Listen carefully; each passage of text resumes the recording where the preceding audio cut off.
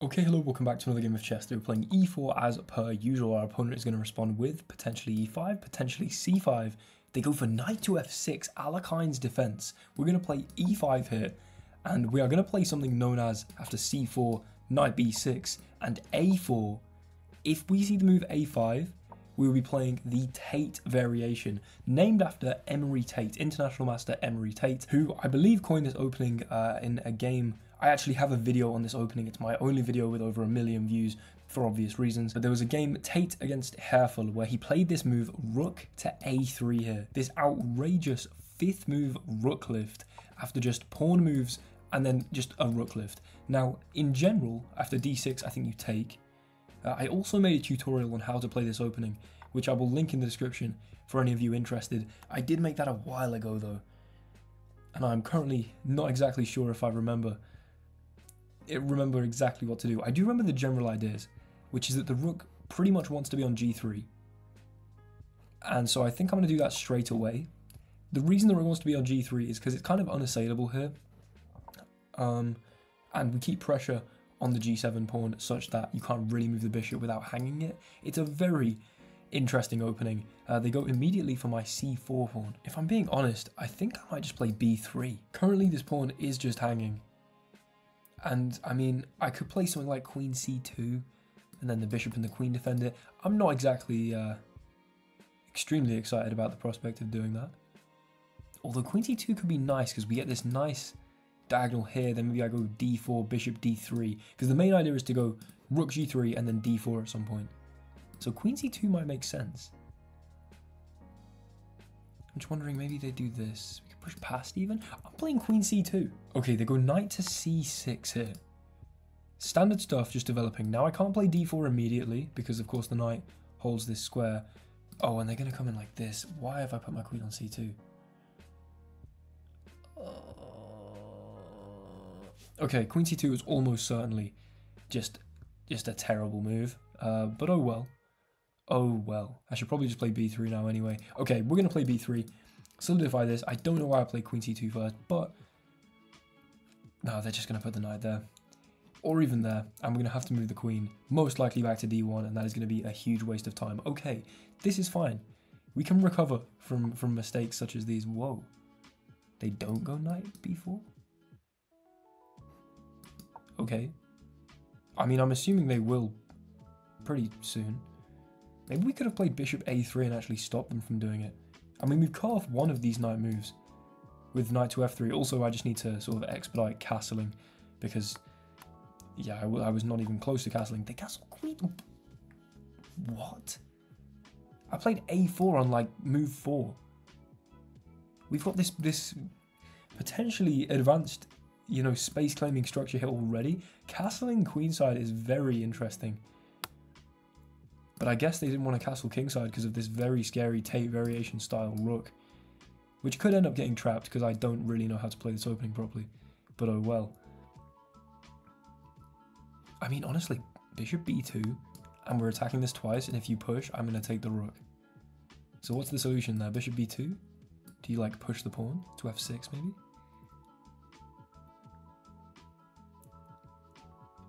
Or maybe I kind of want to play d4. Right, you know what? d4 it is. The point being, we're immediately threatening some kind of fork, although it's not really a fork because they can go knight b4 after or first uh, and just hit my queen.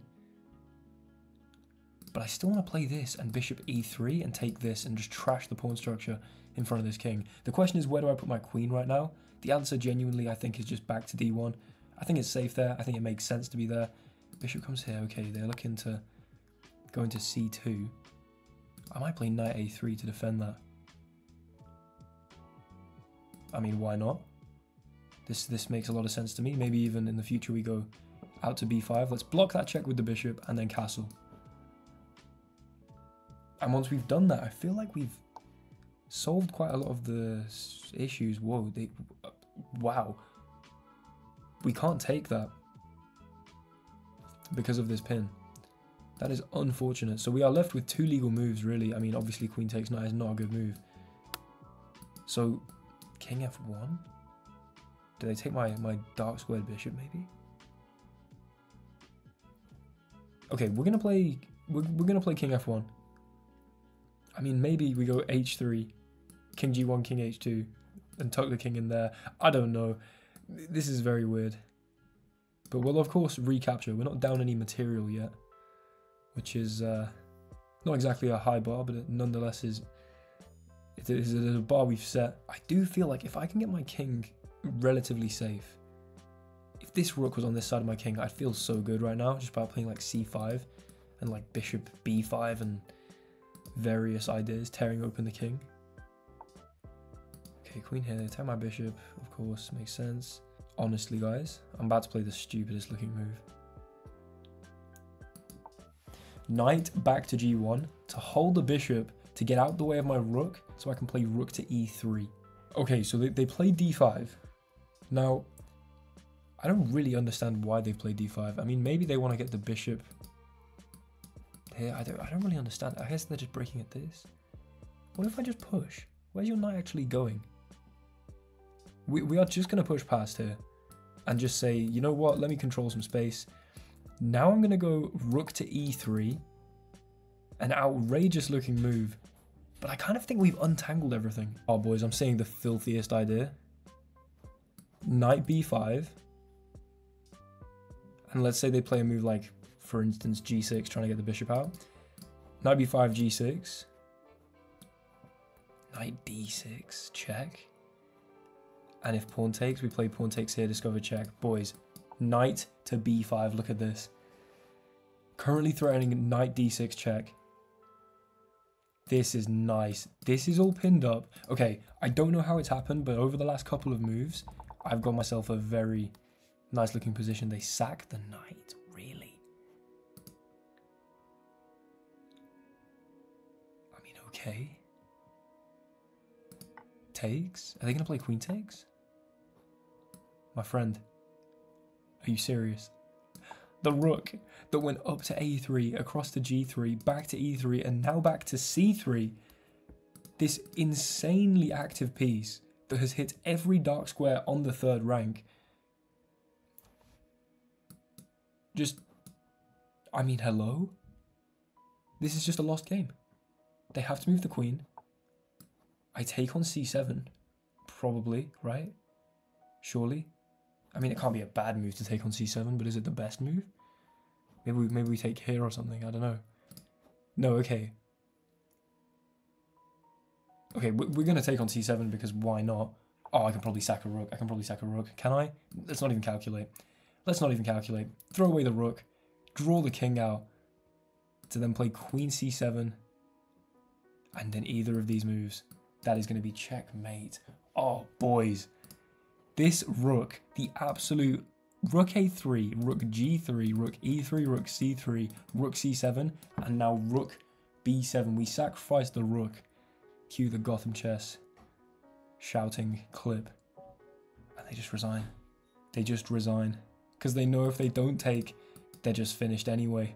Like here, here, and checkmate. I mean, let's look at the analysis. Okay, so here we are in the analysis. 86% accuracy with a blunder, which I'm almost certain was going to be queen c2. That was just a stupid move. I should have just played b3, I'm fairly sure. And three inaccuracies, which I'm just proud of. Um, this game is kind of, I mean, after our blunder, we, we got to a you know a bit of a low point, not completely lost. Yeah, was it queen c? It was queen c2. We'll go through the game, uh, but then we kind of built it back up, and then they really messed up and then uh, yeah we finished it in style with the rook. So let's go through the game quickly. Okay so e4 knight f6 is the Alekhine defensive.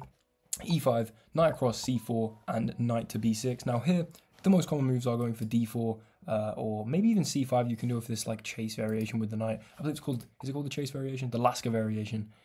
Okay there's some like fischer variations well bunch of different variations. However here a4 and uh, you can see that this is called the Tate variation now. This wasn't called the Tate variation before. I mean, I wonder, this could be a gross bit of arrogance on my part, but I wonder if this had anything to do with my video on it.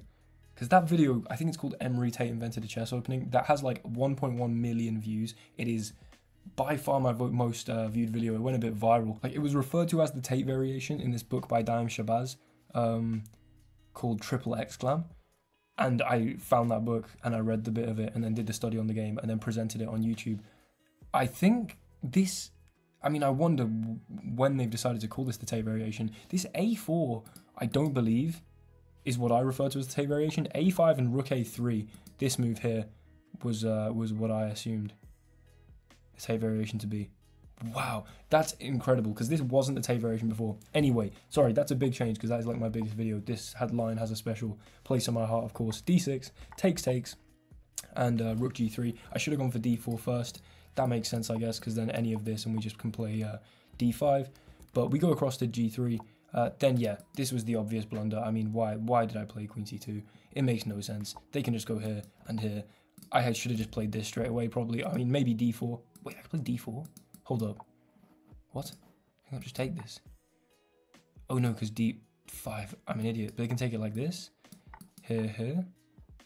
Oh, and then we just carry on developing and sack the pawn. Okay, b3 would have also been playable, I'd assume, although d5 apparently and win might be in a bit of trouble.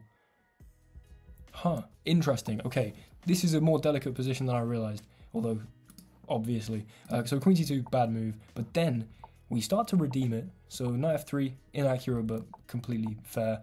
Uh, then d4 finally. Move the queen back to d1. I think that was the best idea. Yeah, I believe so. Queen d1.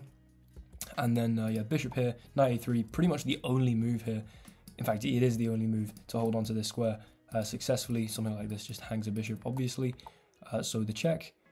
I went bishop e2 instead of bishop e3. I didn't even consider this bishop, actually. Uh, but they then gave the check. King f1, took the bishop, queen takes. Okay. Now here we're not doing amazingly, according to the engine. However, somehow, knight g1 best move?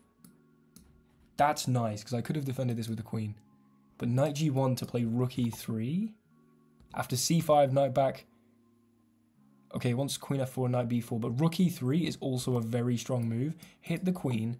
They block with the bishop, pinning their own piece. We go knight to b5 here if they'd gone for something like this. Do I not have this move? I do, and if they take, we take here. And, uh, I mean, maybe this queen, yeah, queen c7, the king moves. We can take this, the king moves again, we go check again. Just eventually we recapture, uh, pick up the queen. That would have been obviously a nice little artistic way to end the game. If they had just moved the king, we could take the rook, of course, and uh, there would just an exchange of bishop g4, trade off some pieces, and uh, win the game there. However, they sacked the knight, clearly very scared about this, and trying to trade stuff off. Now, if I traded the queens off here, this becomes a lot harder to win. I mean, it's still winning, but it's not trivially winning. And I'm down on development. They have a bishop pair. Their king's kind of safe. Even if I go here, they can go like this probably. Oh no, they cannot because I would, I would uh, I would fork the, the king and rook. But you see my point that if the queens come off the board, I'm not really threatening much anymore. The golden rook from the start of the game comes alive yet again to harass that queen, and then we can take it with check. The king moves, and then the very nice rook takes b7, just demolition sacrifice, taking out everything around the king, and we can then sneak in with the queen. King goes here, and we'd have this checkmate, this checkmate. We'd also have some kind of, oh, that's disgusting. Okay, I guess it's just gonna be queen b7 actually. I thought we might have some like double checkmate, but yeah, we're gonna go here. If you go here, it's mate here, and if you go here, it's also mate here. Chasing the king, and that rook, the path that that rook took uh, to end up there, went up to a3, across to g3, back to e3, to c3, to c7, and then to b7. That was only. I mean, wait, the game ended on this move, right? 24. This was one, two, three, four, five, six rook moves. A quarter of the moves were with this one piece. And we just absolutely wreaked havoc on the position with it. Thank you so much for watching. Not necessarily my finest work, but nonetheless a very entertaining game, hopefully. Uh, that knight on b5 certainly is quite nice. Also, the move knight g1 was really satisfying, I thought. Uh, and yeah, whenever you can play the uh, the Tate variation, I'm still baffled that it's now called the Tate variation in the Lichess database. Whoever actually did that, the the Lichess team, probably because they watched my video, 100%. Definitely not because of uh, any established published books like Triple Exclam by Daaim, Shabazz. Yeah, it's definitely because they watched my video. Anyway, I think they got it slightly wrong though, because it's not A4. It's A4, A5, Rook A3. A4 is played like by other people, and that's kind of established, I think. Anyway, thanks so much for watching. I hope you guys enjoyed. Like, comment, subscribe. Uh, as much feedback as possible in the comments. I really appreciate it. Consider becoming a channel member if you really enjoyed. And if you want personal chess coaching from me, then uh, sign up using the Google form. The link is in the description. I'll see you in the next one. Goodbye.